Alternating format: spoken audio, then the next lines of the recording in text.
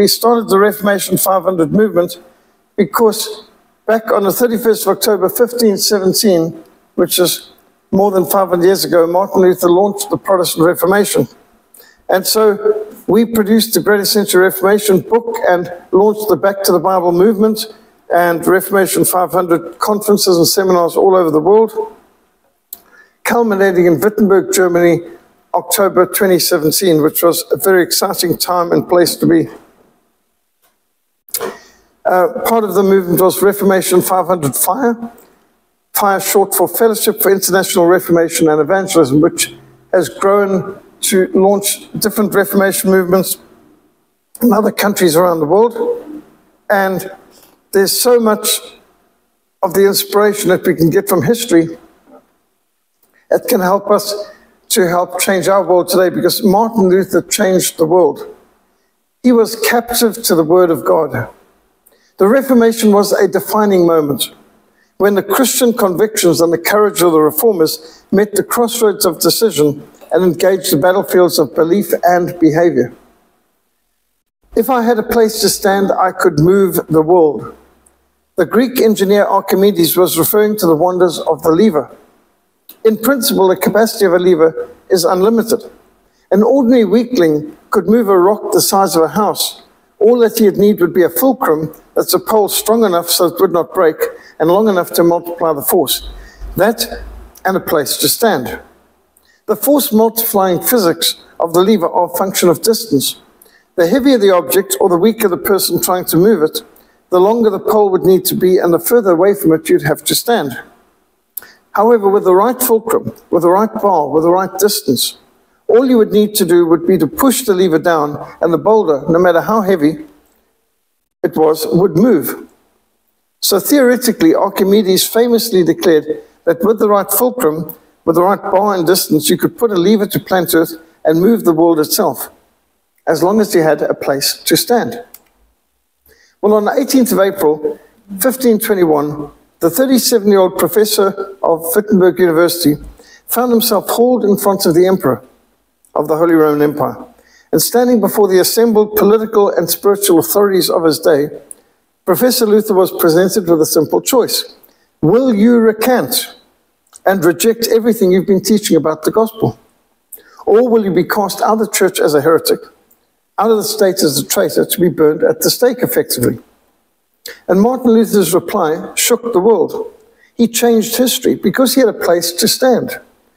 Dr. Martin Luther declared, My conscience is captured the word of God. Here I stand. As John, the Lord Jesus declared, Your faith is able to move mountains. Well, Martin Luther's faith moved the world because he had a place to stand. He stood on the word of God. The fulcrum he used was the gospel. This was balanced on the bar of the law of God. Dr. Martin Luther actually fulfilled what the Greek engineer Archimedes had merely hypothesized about. Standing on the Word of God, using the bar of the law of God and the fulcrum of the gospel, Martin Luther's faith not only moved mountains, it changed the world. It brought an end to the Middle Ages. It ushered in the modern world. The Protestant Reformation and the resultant scientific revolution, industrial revolutions, came out of the Protestant Reformation and they produced the most prosperous, productive, free nations in the history of the world. And all this because Luther had a place to stand, and he made a stand on the unchangeable word of Almighty God. The Reformation was one of the most momentous turning points in the history of the world. It was led by men of strong faith, deep convictions, great intelligence, high moral standards, and tremendous courage. But towering above all these great reformers Martin Luther stands out as the most courageous, the most controversial, and the most influential reformer of all time. Martin Luther has been alternatively described as the brilliant scholar who rediscovered the central message of the Bible, a prophet like Elijah and John the Baptist to reform God's people, the liberator who arose to free his people from the oppression of Rome. He's the last man of the Middle Ages and the first modern man. Ulrich Zwingli describes him as the Hercules who defeated the tyranny of Rome. Pope Leo X called Luther a wild boar ravaging his vineyard. Emperor Charles V described him as a demon in the habit of a monk. Martin Luther was born the 10th of November, 1483, in Eisleben in Saxony. His father, Hans Luther, worked hard to climb the social ladder from his humble peasant origins to become a successful copper mining entrepreneur. Hans married Margarita Lindemann, the daughter of a prosperous, gifted family that included doctors, lawyers, university professors, and politicians. Hans Luther owned several mines and smelters. He became a member of the City Council of Mansfield, where Martin Luther was raised under the strict discipline which was very typical of that time. From age seven, Martin began studying Latin at school. Hans intended his son to become a lawyer, so he sent him to the University of Erfurt before his 14th birthday. I mean, imagine that at age 13, he is starting university already. Martin proved to be extraordinarily intelligent and he earned his bachelor's and master's degrees in the shortest possible time allowed by the statute to the university. Martin proved so effective in debating, he earned the nickname the philosopher. As Martin excelled in his studies, he began to be concerned about the state of his soul and the suitability of the career to be a lawyer that his father had set before him. Well, while traveling by foot near the town of Stottenheim, a violent thunderstorm brought Martin Luther literally to his knees. With lightning striking around him, Martin Luther cried out for protection to the patron saints of miners. Saint Anne, help me, I will become a monk. Didn't even know to pray to God through the name of the Lord Jesus at that stage. He prayed to a saint. The storm around him matched the conflict raging within his own soul. And although his parents were pious religious people, they were shocked when he abandoned his legal studies at Erfurt and entered the Augustinian monastery. Martin was only 21 years old when, in July 1505, he gave away all his possessions, including his lute, his many books, his clothing. He entered the black cloister of the Augustinians. Luther quickly adapted to monastic life, throwing himself wholeheartedly into manual labor, the spiritual disciplines, the studies required. He went way past the fasts and the prayers and ascetic practice required. He forced himself to sleep on a cold stone floor in winter without a blanket, whipping himself. He seriously damaged his health. He was described as devout, earnest, relentlessly self disciplined, unsparingly self critical, intelligent, and impeccable. Luther's rigorous pursuit of the monastic ideal devoted himself to study, to prayer, to the sacraments he wearied his priests with his confessions and with his punishments of himself with fasting, sleepless nights, and flagellation, meaning whipping himself. Luther's wise, godly superior, Johannes von Staupitz, recognized Martin's great intellectual talents. And to channel his energies away from excessive introspection, he ordered him to undertake further studies, including in Hebrew and Greek, and in the scriptures, to become a university lecturer for the order. Martin Luther was ordained a priest in 1507, and he studied and taught at the universities of Wittenberg and Erfurt. In 1512, Martin Luther received his doctoral degree and he took the traditional vow on becoming a professor at Wittenberg University to faithfully teach and defend the scriptures. Now, this vow would be a tremendous source of encouragement to him later. Martin Luther did not view himself as a rebel, but rather as a theologian seeking to be faithful to the vow required of him. He didn't write his vow, it was given to him to, to take, to defend and teach the Holy Scripture. So Martin Luther committed most of the New Testament, much of the Old Testament, and all of the Psalms to memory. He knew it off by heart. The University of Wittenberg was founded by Prince Frederick of Saxony in 1502. And Luther's friend from his university days in Erfurt, George Spalatin, was now chaplain and secretary to the prince, and deeply involved in the prince's pet project of his new university, which first started in this building, which today is known as Luther House. It was the Augustinian Order's monastery in Wittenberg, which later became the university buildings. Wittenberg at this time was a small little river town with only about 2,000 residents. Prince Frederick wanted to build it up to his new capital of Saxony. It dominated the bridge over the River Elbe, and so it's a strategic town in Saxony. And this is the St. Mary's Church, or the Stadtkirche, with the double spires, where Luther preached each day. Well, from 1513 to 1517, Martin Luther lectured at the university on the Psalms, Romans, and Galatians. Being a university professor would have been a full time job, but Luther had other responsibilities as well. He was supervisor for 11 Augustinian monasteries, including this one at Wittenberg. Luther was also responsible for teaching regularly at the monastery chapel, the town church, that's uh, the Stadtkirche, and at the castle church, the Schlosskirche. It was a combination of Martin Luther's theological and pastoral concerns led, led him to take the actions that sparked the Reformation. Martin Luther had long been troubled spiritually with the righteousness of God. God demanded absolute righteousness. Be perfect even as I am perfect. Be holy as I am holy. We are obligated to love God wholeheartedly, and we obligated to love our neighbors as ourselves. And so Martin Luther, he's studying Psalms, and he sees real worship. And he recognizes we don't have worship like we read in the Psalms. He studies Galatians, he sees what real faith is, and he realizes I don't have that faith, and nobody I know has that faith. And he studies Romans, and he sees what real salvation is. And he says, I know nothing about the salvation, neither do any of the other priests I know. It's because of his great concern for his eternal salvation, Martin Luther sought to flee from the world into the monastery. In spite the bitter opposition and grief and anger of his father, he buried himself in the cloister. He devoted himself to a life of the strictest asceticism. Yet, despite devoting himself to earning salvation by good works, cheerfully performing the humblest of tasks, praying and fasting and chastising himself even beyond the strictest monastic rules, he was still oppressed with a terrible sense of his utter sinfulness and his lost condition. And then Martin Luther found some comfort in the devotional writings of Bernard of Clairvaux, who stressed the grace of God, the free grace of God for salvation. And then he studied the writings of Augustine, which provided further light. Then, as he began to study the scriptures in the original Hebrew and Greek, joy unspeakable flooded his heart. It was 1512. He began to study Paul's epistle to Romans, the verse, For in the gospel a righteousness from God is revealed, a righteousness that is by faith from first to last. Just as it is written, the just shall live by faith.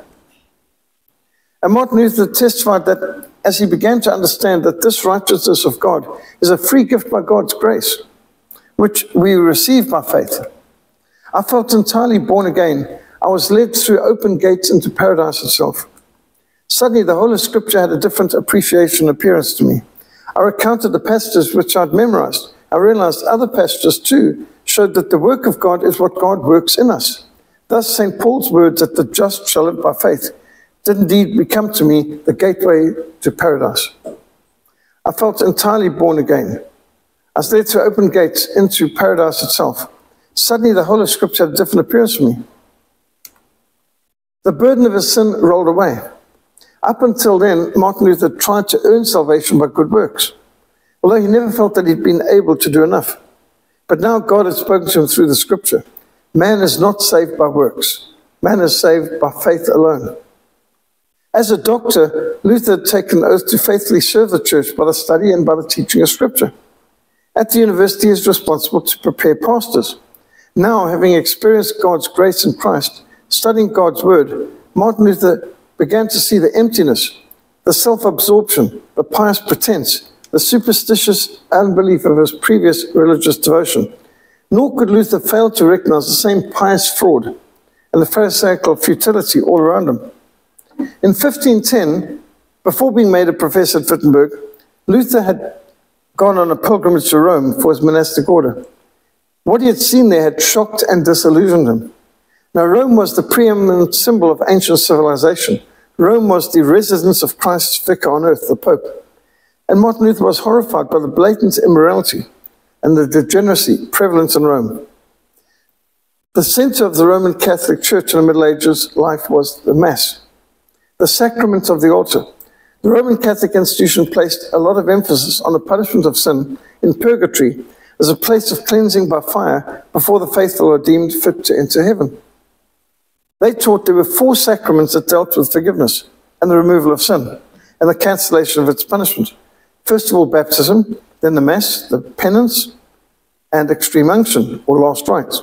The heart of penance was the priestly act of absolution whereby the priest pardons the sins and releases the penitent from eternal punishment. Upon the words of absolution pronounced by the priest, the penitent sinner receives the forgiveness of sins, release from eternal punishment, and a restoration to the state of grace. Now, this would require the sinner making some satisfaction or saying a prescribed numbers of prayers. Like when I was at Catholic school, you know, pray the rosary 15 times or walk up and down the stairs on your knees, things like this. By giving alms, by going on a pilgrimage, or by taking part in a crusade. This is how you consolidated your salvation. In time, the, middle, the medieval church came to allow the penitent to substitute the payment of a sum of money for other forms of penalty or satisfaction. The priest could then issue an official statement and indulgence, declaring the release from all of the penalties through the payment of money. You can imagine there's a lot of people who prefer to pay money to praying a set amount of prayers or going on a pilgrimage to Rome or uh, walking up and down the stairs on his knees, as the case may be. In time, the Catholic Church allowed indulgences to be bought not only for yourself, but also for your relatives and for your friends who had died and who had passed into purgatory. They claimed that these indulgences from the church would shorten the time you'd have to otherwise spend suffering in purgatory. And this was a deal. This practice of granting indulgences was based upon the Catholic doctrine of works of supererogation. This unbiblical doctrine claimed works done beyond the demands of God's law earns a reward. And as Christ and his saints had perfected holiness and laid up a rich treasury of merits in heaven, the Roman Church claimed it could draw on this treasury of extra merits to provide satisfaction for those who paid a specified sum to the church. So you can imagine the people liked this, and in fact, this was so popular, the Catholic Church didn't have to do much salesmanship to market this. The people wanted it. You know, give us a way of getting our relatives out of purgatory. Um, let us just pay some money instead of having to go on a pilgrimage or crusade or say the Lord's Prayer so many times and the Hail Mary so many times and so on. And this became an industry. The system of indulgences was so popular the masses of people preferred to pay a sum of money to saying many prayers and partaking in many masses to shorten the suffering and purgatory of either themselves or of a loved one. The industry of indulgences became a tremendous source of income for the papacy. You can see the spaces that you can put the amount of money and in whose name it's been done and how many years you're going to get of purgatory and so on. And this is at the Reformation Museum in Wittenberg in Luther House. And here's the treasury chest where there's a space at the top to put your money in. And then there's four locks to ensure, with four different keys to ensure that the Pope got his money and so on. In order to fund the building of the magnificent St. Peter's Cathedral in Rome, Pope Leo X authorized a plenary or total indulgence. And so it was on his papal fundraising campaign to complete the construction of St. Peter's Basilica that the Dominican monk, the indulgence salesman extraordinary, Johann Tetzel, arrived in Saxony. The shameless and the scandalous manner in which Tetzel hawked indulgences outraged Martin Luther. There were sales jingled such as, as soon as the coin clinks in the chest, a soul flies up to heavenly rest. And this was all deceiving gullible people about their eternal souls. So Luther's study of the scriptures had convinced him salvation comes by the grace of God alone, based upon the atonement of Christ on the cross alone, received by faith alone. We're not saved by works, we're saved by faith. Indulgences could not remove any guilt, and it could only induce a false sense of security. People were being deceived for eternity. And concerns that had been growing since his visit to Rome in 1510 now led Martin Luther to make a formal objection to the abuses of indulgences. So on All Saints' Day, the 1st of November, people would be coming from far and wide in order to view the more than 5,000 relics exhibited in the Schlosskirche, the castle church, which had been built specifically for the purpose of holding this massive collection, which included bizarre things. In, in the Schlosskirche, they had things like toenail of St. Thomas and milk from the Virgin Mary, bread from the Last Supper, a nail that pierced Christ's hands. Um, they had there some of the blood of Christ that was on a cloth. They had bones of St. Peter's and all sorts of things that if you venerated each of these, you'd get more than a million years of purgatory and so on. So Martin Luther wrote objections, theses, 95 theses, and it created such a sensation that within two weeks, they were being printed and read throughout Germany. Within a month, there were translations being printed and sold all over Europe. The Pope even received a copy.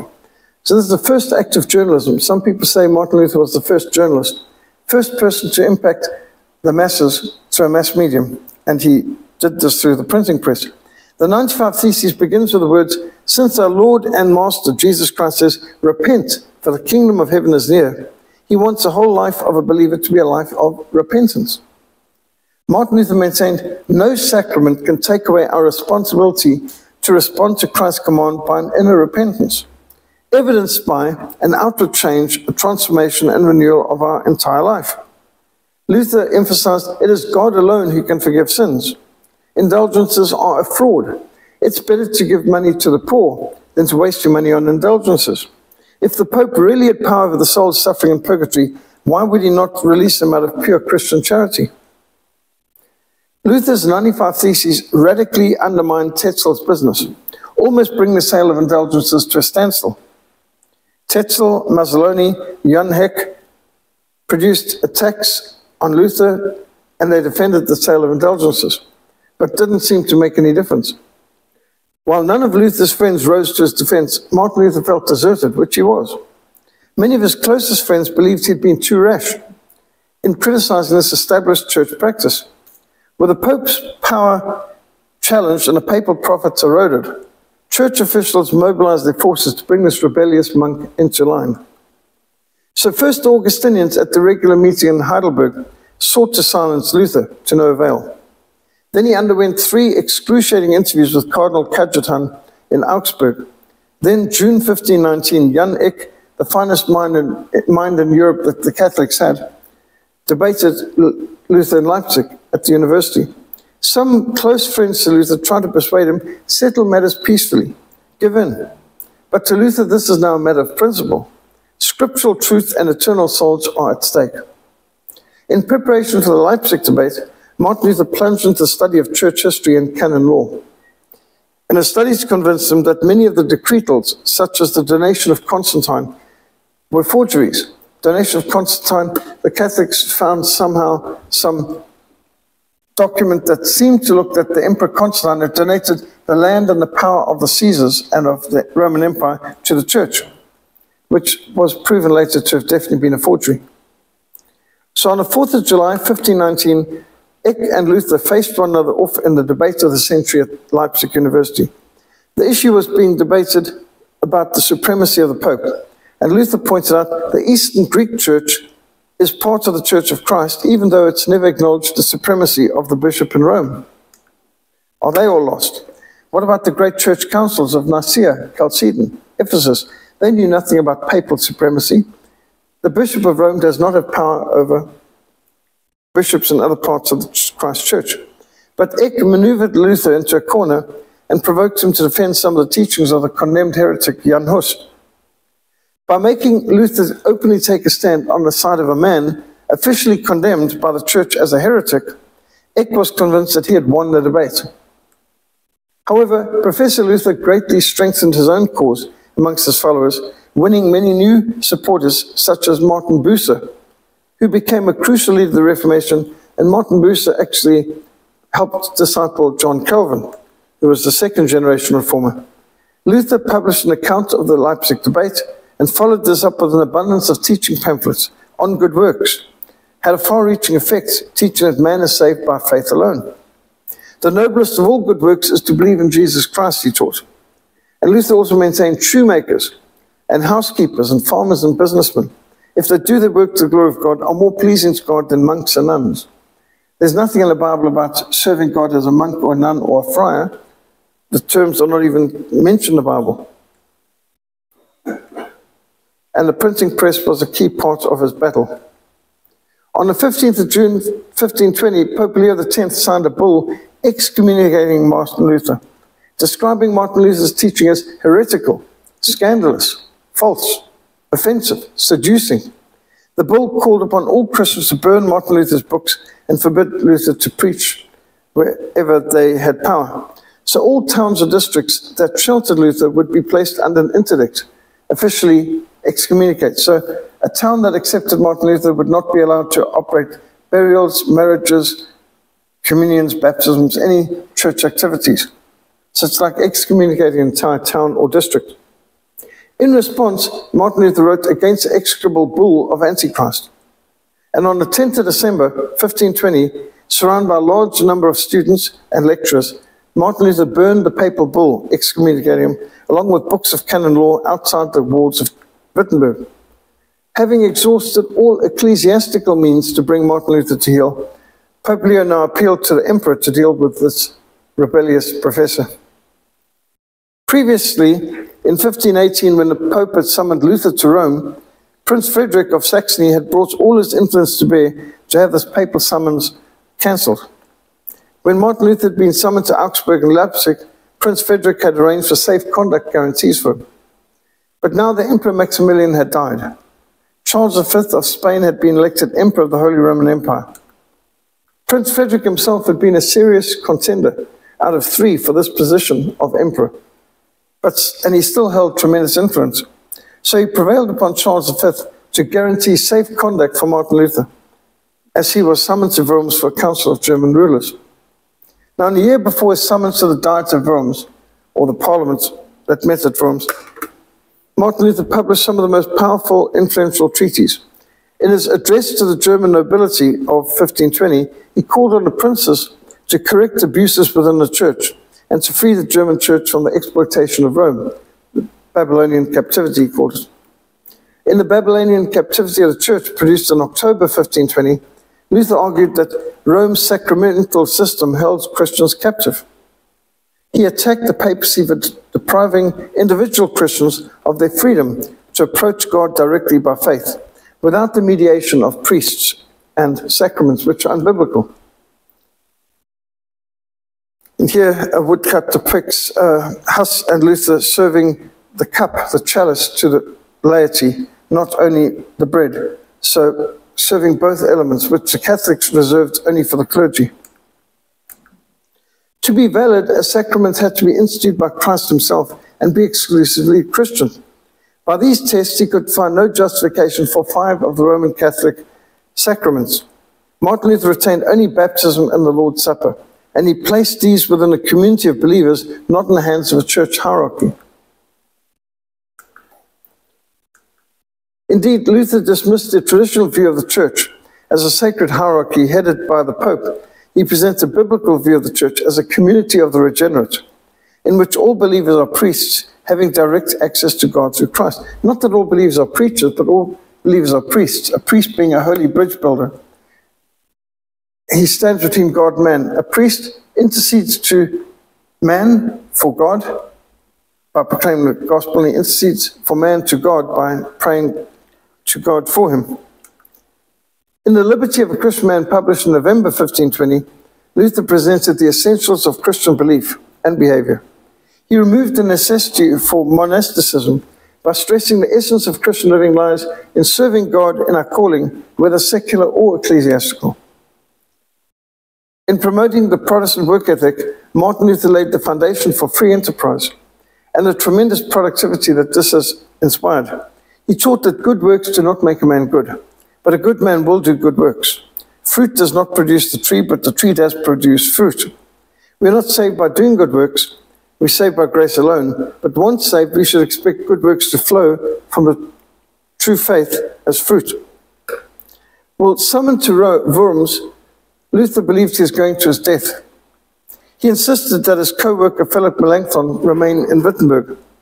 My dear brother, if I do not come back, if my enemies put me to death, you will go on teaching and sound standing fast in the truth.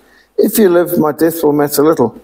Now, Martin Luther was 37 years old at Worms. He had been excommunicated by the Pope. Luther would have remembered that the martyr Jan Hus, a century before, had traveled to Constance with an imperial safe conduct which was not honored. And Luther declared, the Hus was burned, the truth was not burned. Christ still lives. I shall go to Worms, though there be as many devils there as there are tiles on the roofs. So he had to be super courageous to go to Worms because Huss had received a safe conduct guarantee and it had not been honored and he had been burned at the stake. What made Luther think he could get away with making the same stand Huss had made and live to talk about it afterwards?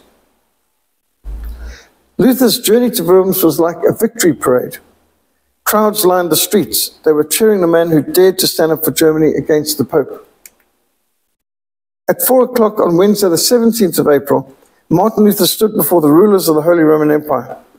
Charles V, Emperor of the Holy Roman Empire, ruled all Austrian domains, and Spain and Netherlands, and a large part of Italy and the Americas. So, 21 years old, Charles V ruled over a larger empire than any man since Charlemagne. And amidst the pomp and the splendor of this imperial gathering stood the throne of the emperor on a raised platform. He is flanked by knights in gleaming armor, six princes, 24 dukes, 30 archbishops and bishops, seven ambassadors. Luther was asked to identify whether the books on the table were his writings. And upon Luther's confirmation that they were his writings, the official asked Luther, Do you wish to retract them, or do you adhere to them and continue to assert them? Now, Luther had come expecting an opportunity to debate the issues, but it was now made clear to him no debate is going to be tolerated. The imperial diet was ordering him to recant all his writings, the work of a lifetime, in a matter of minutes. So Luther requested more time that he might answer the question without injury to the word of God and without peril to his soul. The emperor gave him 24 hours. The next day, Thursday, the 18th of April, the sun was beginning to set, torches were being lit, and Luther was ushered into August assembly. He was asked again, Will you recant what you've written? Martin Luther responded, Some of his books taught established Christian doctrine on faith and good works. He could not deny accepted Christian doctrines. Other of his works attacked the papacy, and to retract these would be to encourage tyranny and cover up evil. In the third category of books, he had responded to individuals who were defending popery, and these Luther admitted he had written too harshly. The examiner was not satisfied with his answer you must give a simple, clear, and proper answer. Will you recant or not? So Martin Luther's response was first given in Latin and then repeated in German to make sure everyone could understand. And it shook the world. Unless I'm convinced by scripture or by clear reasoning that I'm in error, for popes and councils have often erred and contradicted themselves. I cannot recant, for I'm subject to the scriptures I've quoted. My conscience is captive to the word of God. It is unsafe and dangerous to do anything against one's conscience. Here I stand, I cannot do otherwise. So help me God, amen. And amidst the shocked silence, cheers ran out for this courageous man who had stood up to the emperor and to the pope. Martin Luther turned around and left the tribunal, and numerous German nobles and knights formed a circle around Luther, escorting him safely back to his lodgings. The emperor was furious However, Prince Frederick insisted Charles V must honor the guarantee of safe conduct for Luther. Charles V raged against this devil in the habits of a monk. He issued the Edict of Worms, which declared Martin Luther as an outlaw, ordering his arrest and death as a heretic.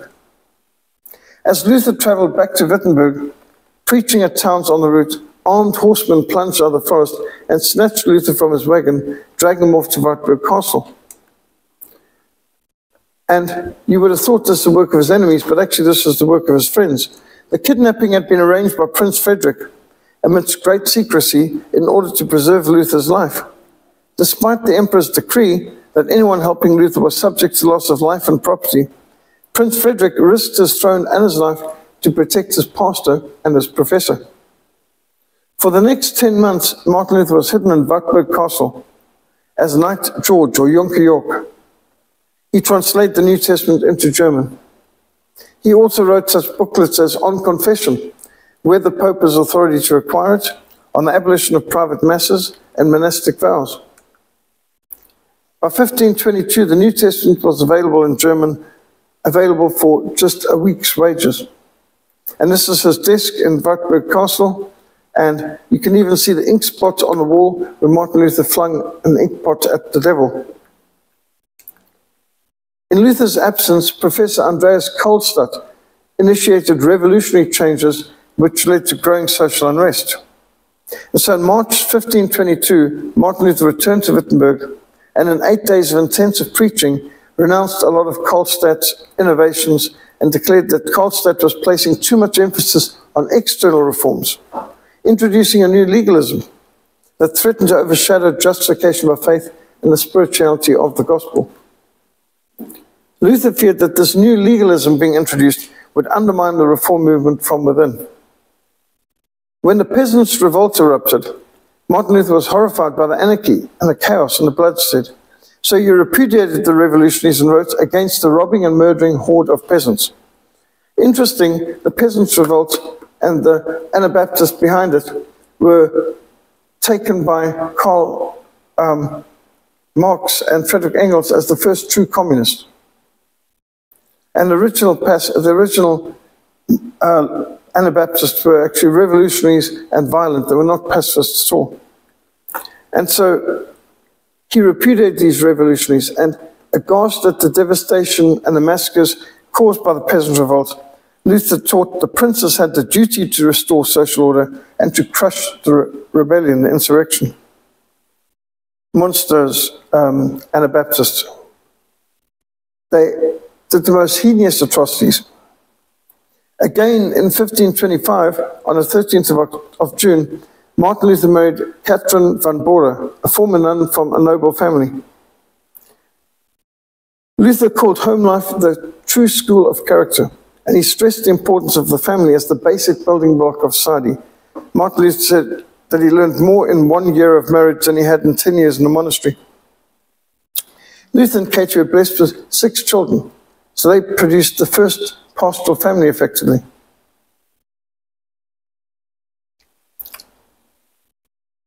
Also in 1525, Martin Luther wrote one of his most important books on the bondage of the will.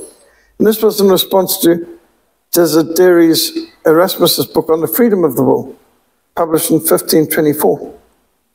Luther responded scathingly to Erasmus's theories on free will. And he argued that man's will is so utterly in bondage to sin that only God's action could save. Luther articulated the Augustinian view of predestination. He declared he much preferred that his salvation is in God's hands rather than his own. If it was up to me, I'd never been saved. If it was up to me to keep my salvation, I wouldn't stay saved. I'm saved by God's grace. I'm kept by God's grace. Salvation is by grace from first to end. As a result of the exchange between Luther and Erasmus, Many Renaissance humanist scholars stopped supporting Martin Luther. You can see Martin Luther depicted here holding up an open Bible in the middle of the chaotic marketplace of ideas where people are discussing and arguing all sorts of ideas. And he holds up, Scripture alone is our ultimate authority. The Reformation brought about sweeping changes in the church and dramatic changes in all of society.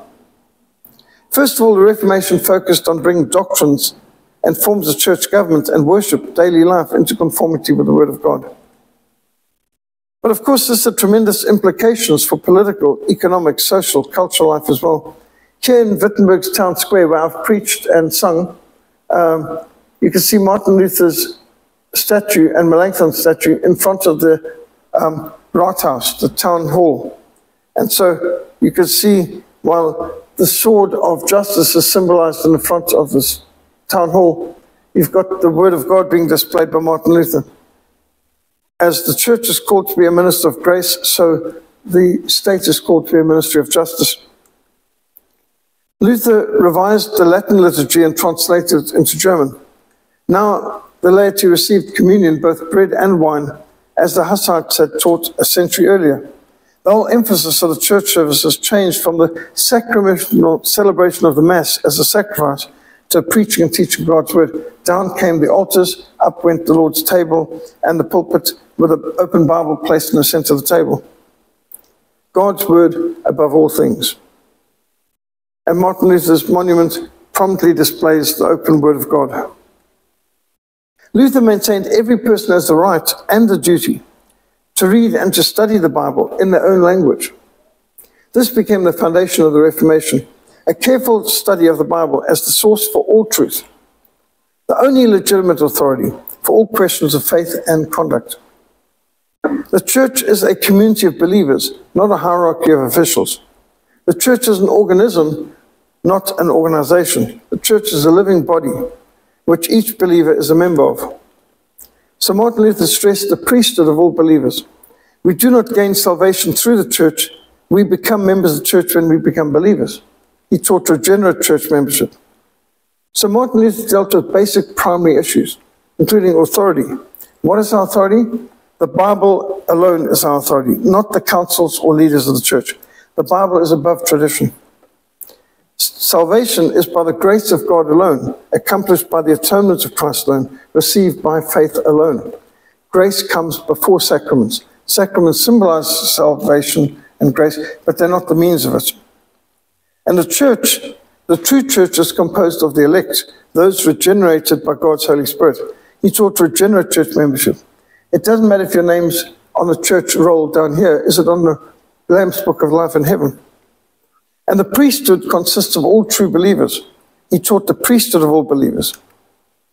So the battle cries of the Reformation are those Latin phrases that summarized the Reformation principles. And the Protestant Reformation, mobilized by Luther, rallied around these great battle cries. Solus Christus, Christ alone is the head of the church. Sola Scriptura, Scripture alone is our authority. Sola Gratia, salvation is by the grace of God alone. Sola Fide, justification is received by faith alone.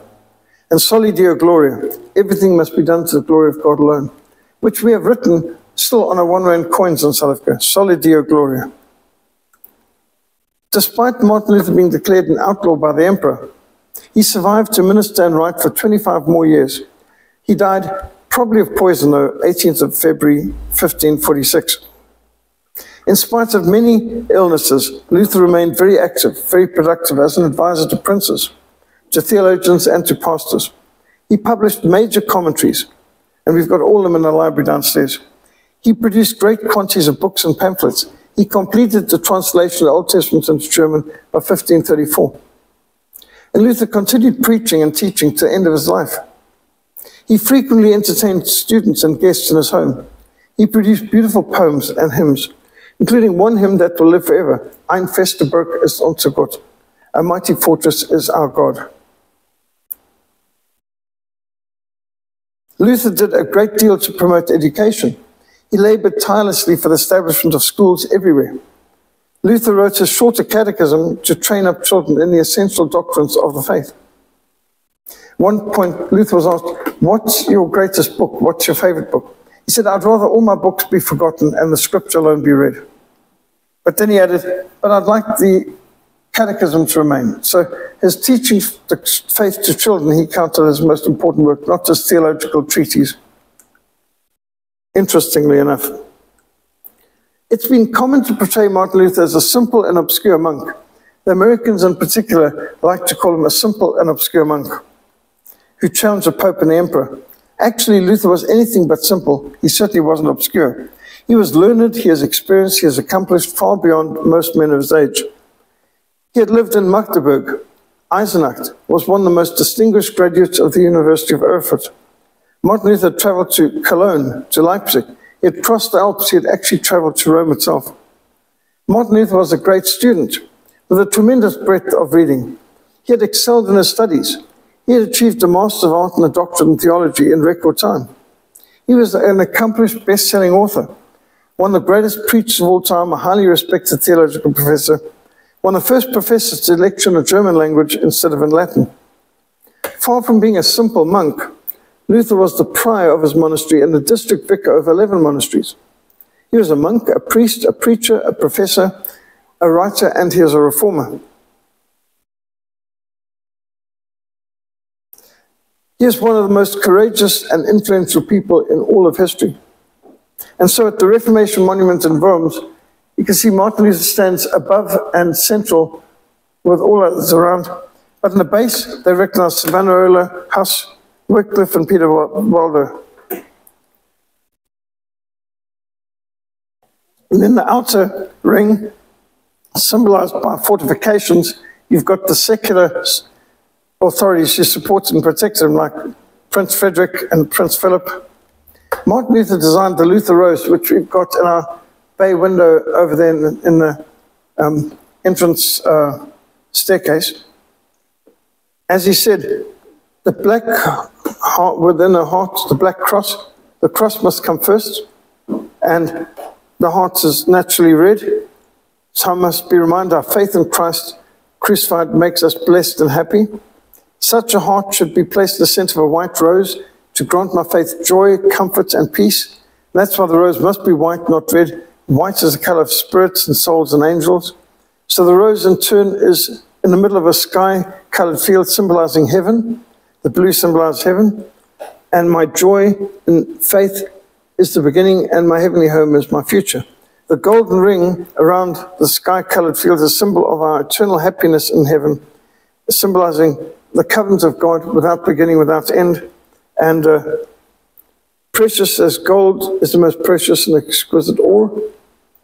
And his symbols were accompanied by the statements Scripture alone, faith alone, grace alone. I took this picture in the church in Wittenberg. You can see the Luther Rose is prominent. And we've got the map downstairs in the hallway showing where the Lutheran faith predominates, the, the pink areas where Lutheranism predominates, the green where Calvinism predominates, and the yellow where the Anglican Protestant faith predominates. Well, the Lutheran faith was adopted in northern Germany and also throughout Denmark, Norway, Sweden, Finland, and Iceland. Now, Luther was considered a controversial figure in his day. He's continued to be considered controversial to this very day. There are character assassins who hate me because I initiate the policy of Reformation Day and because I've written positively about Martin Luther. And I've had some people attacking me ever since because they maintain that Martin Luther is an evil man and there's websites dedicated to slandering him as the foundation of the Holocaust and other nonsense like that. Well, Luther challenged the power of Rome over the Christian church. He smashed the chains of superstition and tyranny, and he restored the Christian liberty to worship God in spirit and in truth. If I profess with the loudest voice and the clearest exposition every portion of the truth of God's word, except precisely that point which the world and the devil are at that moment attacking, then I'm not confessing Christ, however boldly I may be professing him. For where the battle rages, there the loyalty of the soldier is proved. To be steady at all the battlefront besides is mere flight and disgrace if he flinches at that point. Where the battle rages the hottest, we need to be standing there. We cannot go with the flow, go with the world. So there was a time when the churches in Cape Town were closing and remained closed because of the lockdown lunacy, masquerade madness, the COVID cult, salvation by vaccination cult. And at that point when religious freedom was at stake, how many ministers made a stand for religious freedom and against medical tyranny, government interference? Didn't matter that the Soviet government outlawed the church. The church never stopped meeting during the dark days of the Soviet Empire or in Red China. The church meets even under persecution. Maybe we've got to hide, but to have flinched at that point was flight and disgrace. Cowards. Um, Shame on these ministers who allowed the churches to be closed just because the government said they had to be closed. Maybe they needed to just change venues and meet in homes or something, but to have closed the church for a virus is pathetic. When the plague raged Wittenberg, Martin Luther invited members of the plague into his home. Ulrich Zwingli went into the plague-ridden areas and ministered.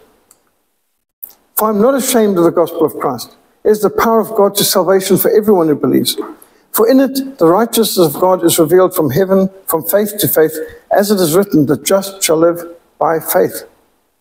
Now, this text is one of the chapters in the Greater Century Reformation book, and all part of what led to our Reformation 500 event, centered on Luther's bold stand. Any questions about Martin Luther, the greatest of the reformers? Probably one of the greatest men of all time. Certainly, I think the most courageous. And that's why we get on the 31st of October to celebrate Reformation Day. If you like the idea of having the Bible in your own language, you should celebrate the Reformation Day. If you like the idea of singing hymns in church in your own language, as opposed to coming to watch a choir sing in Latin, you can thank Martin Luther. If you like the idea of religious freedom and freedom of conscience, you should honor Reformation Day. So we produced a 95 Theses for Reformation Today um, leaflet, which we got translated into Dutch and French and German and Afrikaans.